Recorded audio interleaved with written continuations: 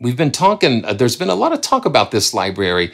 Uh, the it's a uh, film scoring selection. It's the latest film scoring selection, and I know that we're waiting for Soaring Strings because they they kind of let uh, there was a video of uh, one of the one of the expansions, and uh, and and there was like a little a little thing I saw, and it was like there was soaring strings in there. So we know that that there is a string library coming, a string edition, like hopefully some you know nice legato. But they they introduced a grand brass, and it's a, it's really kind of interesting because what these scoring selections are I guess when you're looking in the aisle, uh, the baking aisle, the spice aisle, you know, it's these it's these little containers of saffron or uh, or pap- paprika or just different spices.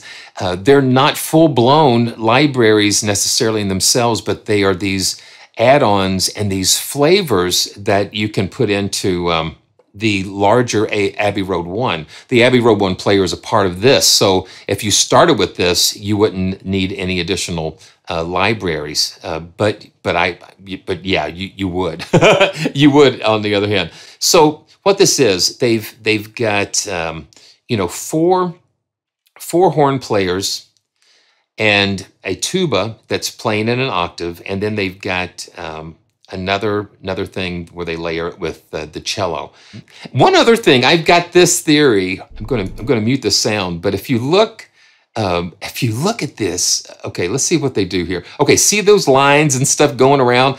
All those dots, you know, I've got a theory about those dots that all of those dots represent some kind of um, uh, some kind of connection with these libraries that that I have a theory that each dot is going to be a, a, an expansion or part of what uh, what some think uh, have speculated to be a modular uh, orchestral library, which I think is going to be really cool. So we're going to jump right into this, um, the grand brass, and you can just see it. It comes in their Spitfire player, and let's just kind of uh, take a listen the, the thing you're going to notice right away is that, man, the note range is very limited.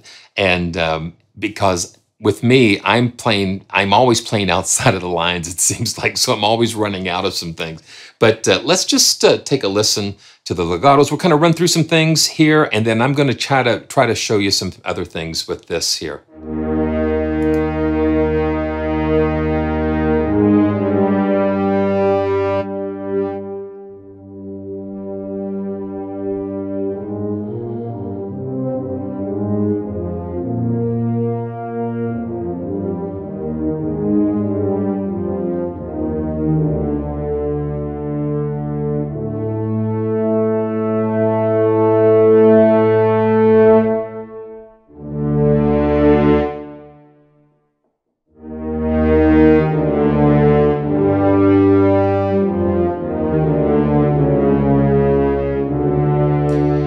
So this is good for you know those those melody lines when when you just need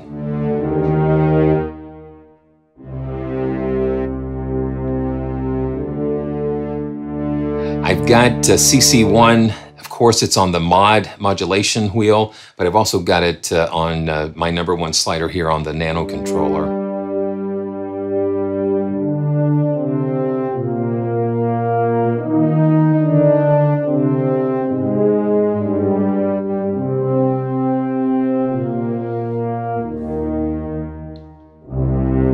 and already I ran, I ran, there's no notes here, so. But it's royal and it's foreboding uh, as well. Yeah. And then we can go to that higher dynamic.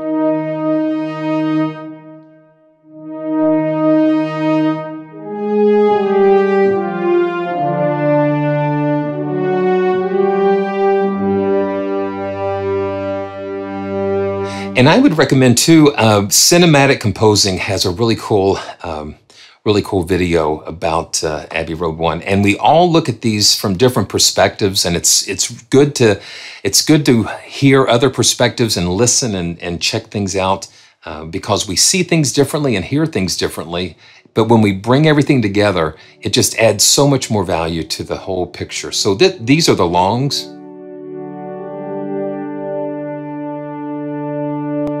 Now see, I'm trying to do this do this here to go on up and it's not there. That's that's the that's that's the thing that bugs me, I guess, because I'm wanting I'm wanting a little bit more. But I'm going to kind of show you some ways we can get around that.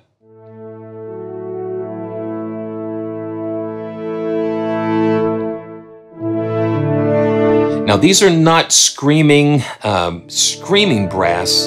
You've got that dynamic range here, but it does hit hit a ceiling to some point because you've got to understand, I guess, what they're going for. They're not going for a bombastic type of brass. Uh, it's more, it's more regal. Um, and um, so it's not more, it's not like an in-your-face type of brass. It's more of this type of grand, grandness, I guess, for lack of a better word.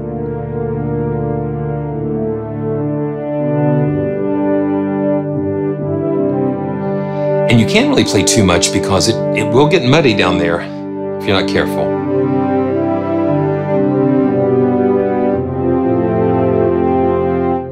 There's nothing that I find richer and royaler, royaler, if that's a word, than French horns. And you've got that bottom added with the tuba.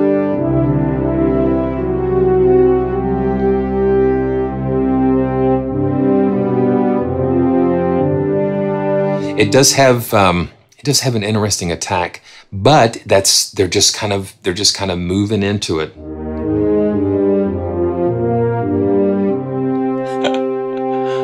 King Friday brass, yeah. Now let's listen to the staccatos. Now the staccatos are not affected by the uh, CC1.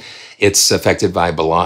It's affected by velocity, by velocity. So, uh, and these are in the same configuration uh, with the 8VA. So I've actually got my expression pedal mapped to volume. So that's why I'm, you're seeing that, uh, that happen. So let's, uh, let's take a listen to the staccatos.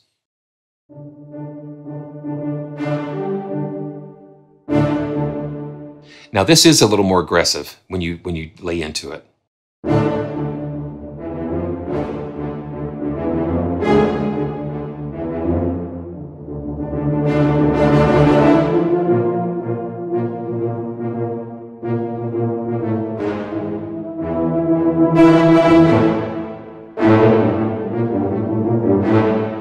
See something. I want to, um, let me turn the reverb off and uh, we can hear what's happening in the room.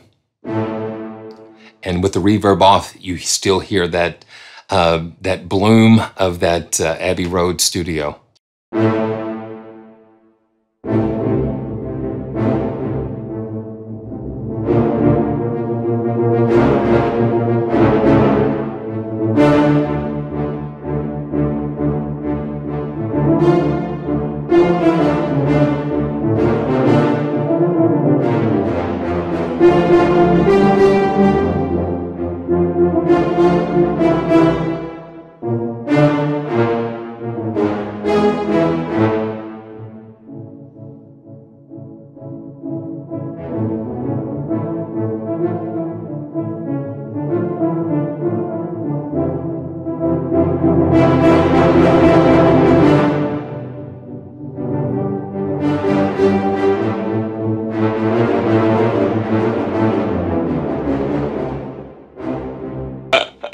Yeah. See, that's that's it again. See, you keep running, you run out of notes, but it's just for those.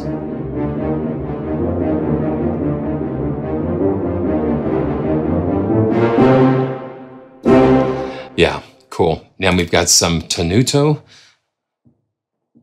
See, I'm playing up here. It's down here.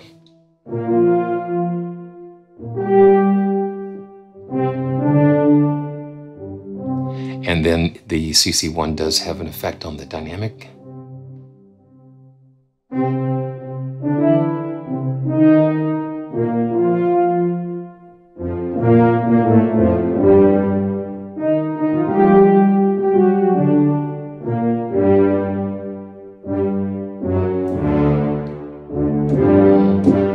And then we've got swells. So you've got performed swells, either the shorts. And they do kind of blaze a little bit when they hit the top of the dynamic the dynamic range. And medium. And again, it's better to really have these natural performed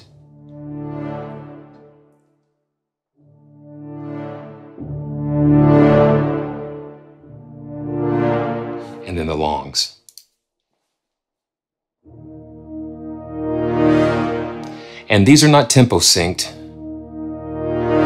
because they just record them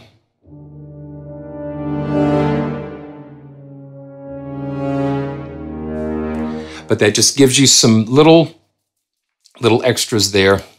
And um, the last, uh, let's see what we've got. Okay, okay, cool.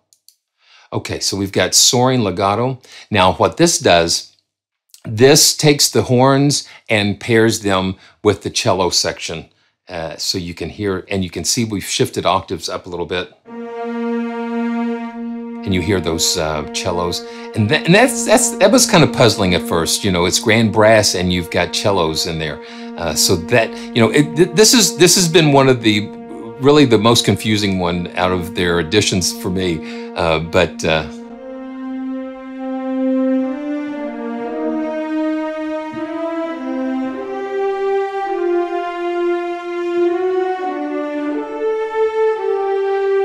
hear that beautiful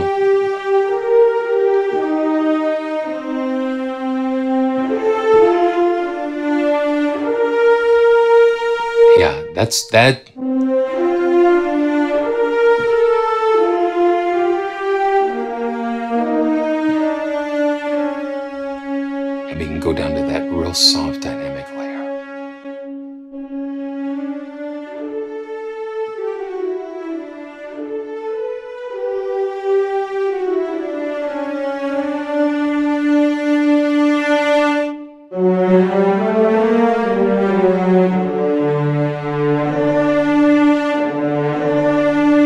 and you hear that. And uh, the last articulation that we have uh, for these um, are the soaring longs. And so now we can kind of.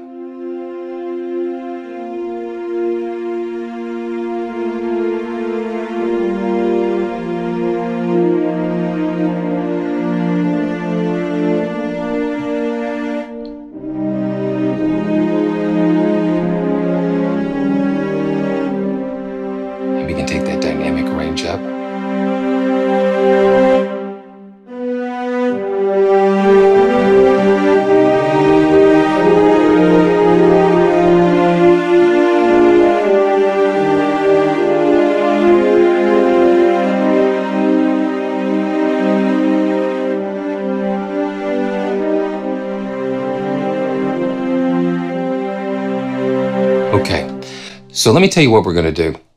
So I've taken this, um, taken this concept here. You know, I am a big fan of Unify, and so what I've done, I've created a um, a layer or a Unify patch that um, incorporates several instances of Abbey Road One. So let me show you what I've done here. So I've got um, legendary low strings, and I actually have them mapped down here and I have the um, the horns here. I'm going to just solo. So these these are the horns from Abbey Road One.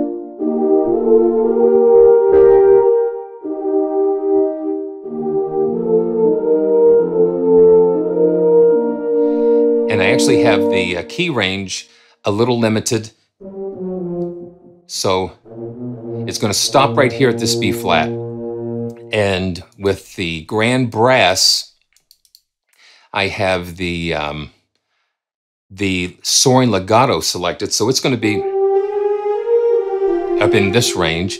And legendary low strings are going to be down in, um, in this range, in the lower range, of course, down here.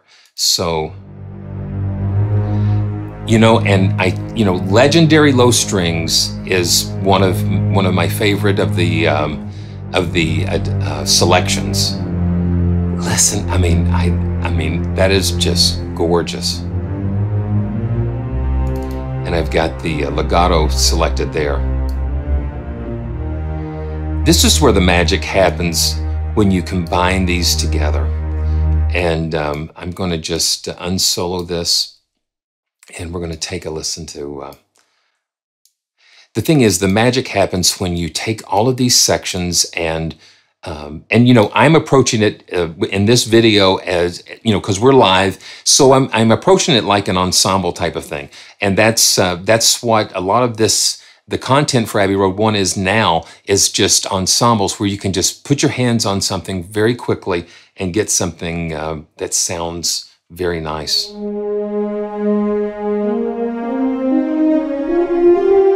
So you hear that soaring legato in. Um,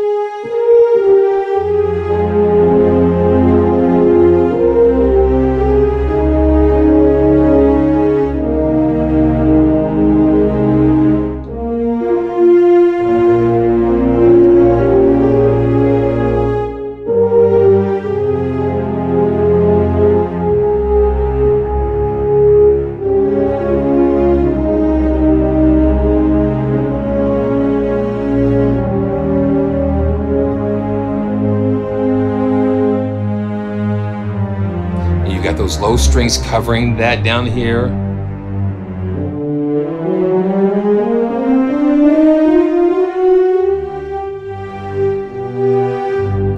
And then you can go up here.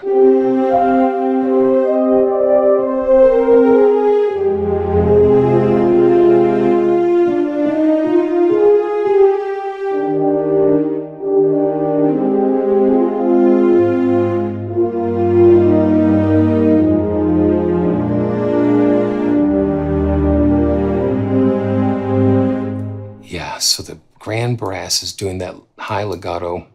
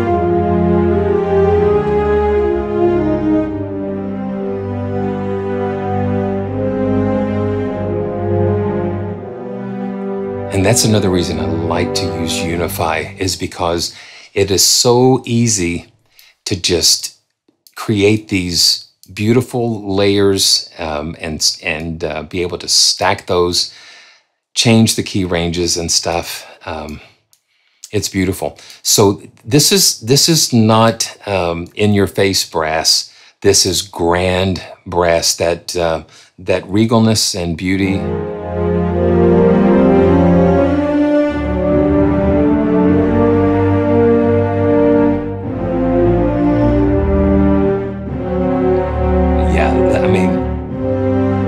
You have those low strings just cutting in there. And then um, let's uh, let me mute the horn layer here, and um, that way we can just hear.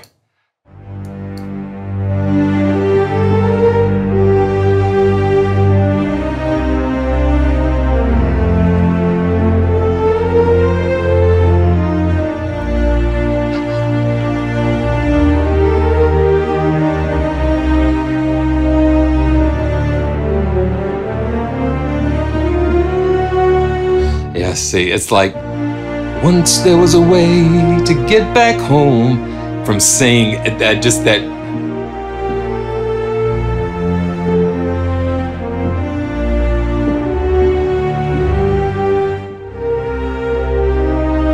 and I will sing a lullaby. Yeah, that is where grand brass excels in is that those lyrical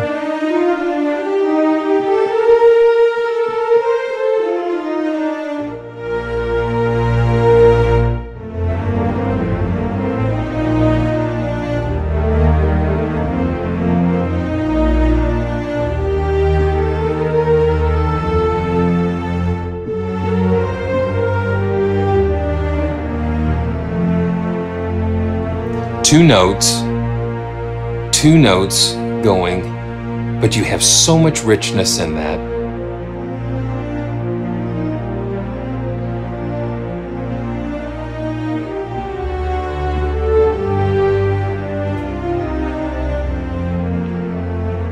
And sometimes when you limit yourself, it, uh, it causes you to really. Um, I know I can't play 20, 20 notes here.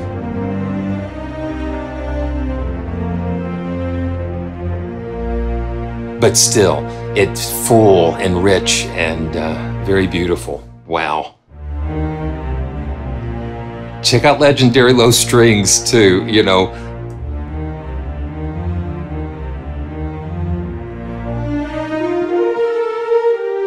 And you hear that just singing like but you run out of notes. But that's okay. You just learn how to compose around those limitations, and uh, you know, because the sound is uh, the sound is just a signature sound that uh, really is beautiful. Okay, wow.